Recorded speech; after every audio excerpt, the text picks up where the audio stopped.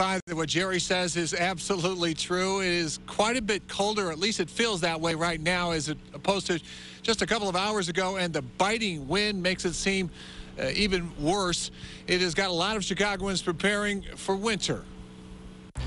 There have been better days for a stroll along the lakefront. The wind, freezing drizzle, and cold came suddenly catching some people unprepared. But not everyone is complaining. Um, I'm looking forward to snow. I'm doing cross-country ski. And if Chicago gets two or three days of snow, they're all mine.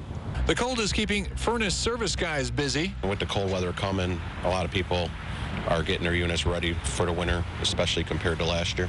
Many Chicagoans remembering last year's record snow and cold are stocking up on supplies early this year.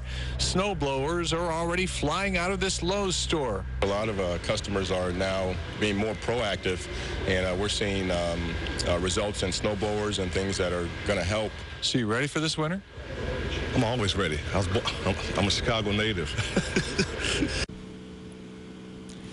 Yeah, a, hat, a little heavier coat, maybe some gloves might be a good idea. It's a bit cold.